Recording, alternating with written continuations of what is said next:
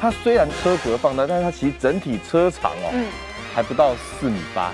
哦还不到四米八。台湾尤其是都会很有很有优势。哎怪你有够聪明的。因为这台是铂金版高规的版本对。这是它的特色。